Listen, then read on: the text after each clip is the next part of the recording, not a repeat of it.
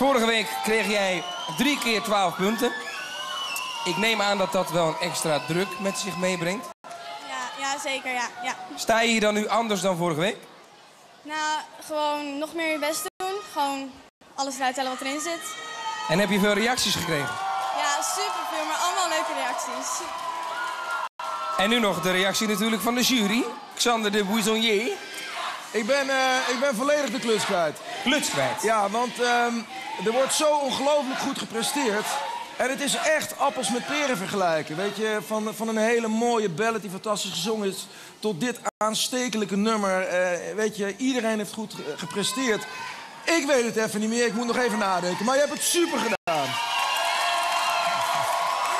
Nou, je hebt nog heel even. Niels? Nee.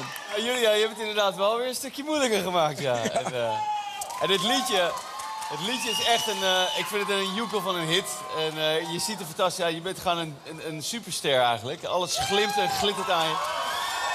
Dus ja, wat, wat moeten we, wat moeten we nou? Ja, ik, ik weet het ook even niet. Nee. Nou ja, We hebben nog even. een klein half uurtje om, eh, om te beslissen.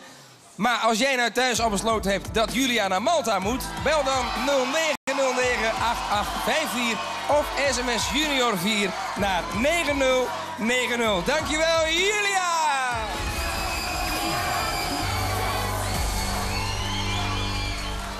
En we zijn aangekomen bij het vijfde en laatste optreden van vanavond. Deze finalist hield bij de tweede